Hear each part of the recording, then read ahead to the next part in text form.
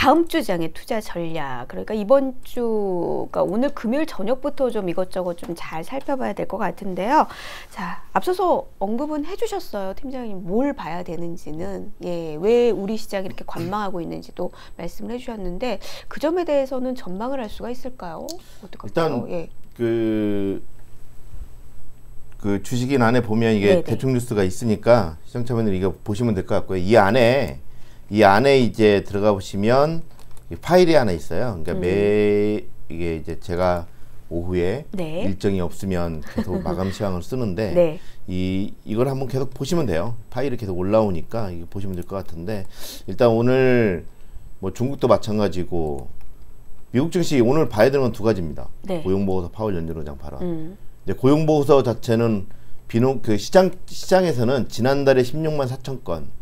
근데 이번에는 16만 3천 건으로 예상을 하고 있고요. 전월과 같은 실업률은 3.7% 그대로 음, 유지를 할 것 같고 음.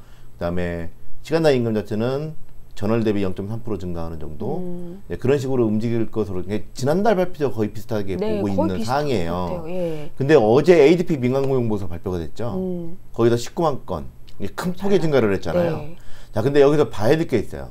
ADP 민간 고용 보고서 자체가 잘 나오긴 했는데 그 지난달 그 전달의 발표치를 하향조정했어요. 음. 15만 건에서 14만 건으로. 아 전에 나왔던 수치를 내렸다는 어, 거예요. 예. 그리고 원래 이번 고용 고용 보고서 자체도 원래 발표가 되잖아요. 근데 수집이라든지 뭐 여러 가지 조절이 있기 때문에 아마 지난달 수치를 또 하향 조정하거나 음. 아니면 이번 달 같은 경우 그냥 좀 별로 예상보다 나쁠 수도 있는 거니까 별로 그렇게 엄청나게 좋을 것 같다라고 생각할 필요는 없습니다. 왜냐하면 음. ADP 민간 고용 보고 자체는 워낙에 변동성이 커요. 음. 어, 그 다음에 또 주목할 게 뭐냐면 지난번에 미국 경기 침체 이슈가 불거졌었잖아요. 네. ISM 제조업 지수 네. 발표됐을 때 기준선 이하로 떨어지면서 음, 큰 폭의 네. 하락을 했었는데 그 세부 항목 중에 고용 지수 이 고용 지수가 사실은 고용 보고서하고 상관관계가 한 80%대 음. 상당히 강하죠. 그러네요. 네, 근데 이제 그게 어 47로 기준선 이하로 크게 빠졌어요. 네, 네, 네. 그다음에 어저께 발표됐던 ISM 서비스업 지수 음. 이것도 어 물론 이제 기준선 이상은 이상인데 지난달 56에서 53으로 음. 하향 정됐죠. 음. 다른 것들은 뭐 안 좋네. 음. 예. 그러니까 고용 자체가 뭐 전반적으로 제조업은 계속적으로 부진할 것으로 전망되고 있고요.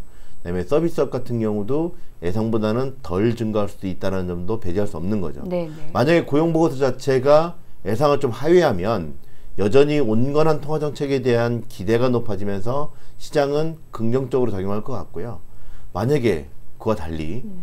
큰 폭의 개선이 돼 버리면 그쵸 시장은 변동성이 커지겠죠. 거기서 고민을 왜 그러냐면 예. 아까도 말씀드렸던 것처럼 지금 시장은 그 온건한 통화 정책에 대한 기대가 높아져 있는 가운데 그 사실은 이게 지난번 금리 연준의 금리나 확률 자체가 갑자기 확 늘었던 네. 게왜 네. 그랬냐면 네. 고용 보고서가 나쁘게 나오면서 그런 그런 경향들이 보였었거든요. 음. 그래서 이번 고용 보고서 자체가 어떻게 발표가 되는지 가장 정말 중요한 거죠. 음. 지금 시장에서는 온건하게 다 어, 움직일 거라고 전망을 하고 있는데 고용 보고서 잘 나와 버리면 시장은 다음 주에 우리나라 주식시장 선물 옵션 만기일에 추석 연휴를 앞두고 3일밖에 거래가 없잖아요.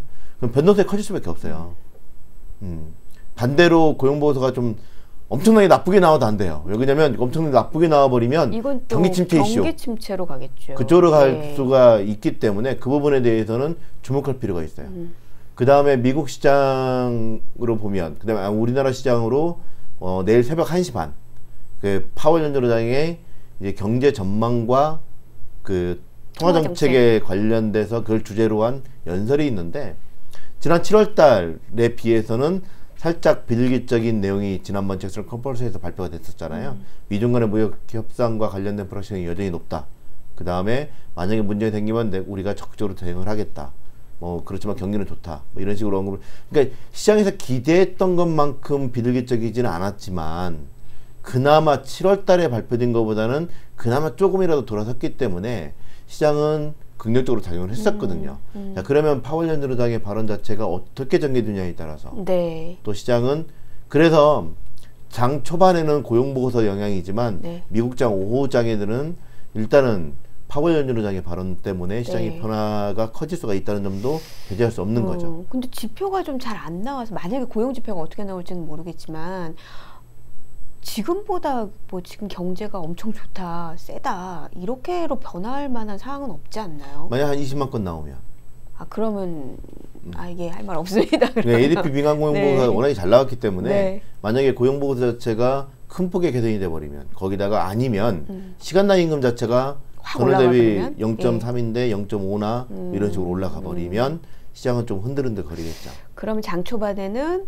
고용 지표 그리고 후장으로 가면은 지금 현재 이제 파월 연준 의장의 발언 그쵸. 이렇게 보여요. 근데 이제 이게 있어요. 그러니까 만약에 지금 현재 경기 만약에 지수가 흘러내려서 만약에 줄줄 흘러내리고 있는 상황이었다라면 이게 잘 나와도 이게 나쁘게 나오면 그 온건한 통화 정책, 잘 나오면 경기 침체 우려 완화 이걸로 인해서 반등을 줄 수 있는데 지금 미국 음. 올라- 증시나 우리나라 네, 네, 증시가 네, 좀 많이 올라와 있잖아요. 음. 이게 많이 올라온 건 아니지만 음. 슬슬슬 기어 올라가고 그렇죠. 있거든요. 네. 그런 상황에선 지금 현재 자체는 시장 참여자들이 바라보는 거는 온건한 통화 정책에 대한 기대거든요. 그래서 만약에 해외 선물을 투자하시는 분들 같은 경우 예, 오늘 저녁에는 변동성이 커질 수 있다는 점을 음. 항상 주목하고 그 결과를 앞두고서는 원래 워낙에 회의 선물 같은 경우는 급등락을 해버리거든요. 네. 거기에 대한 좀 조심을 해야 된다라고 음. 보시면 될 것 같고 음. 우리나라 주식시장 참여자분들 같은 경우는 뭐 일단은 좀 지켜보고 예. 내일 아침에 음. 일단은 저희 또 키움에서 하는 팟캐스트를 또 올라가니까 그걸 한번 들어보시면 될 것 같습니다.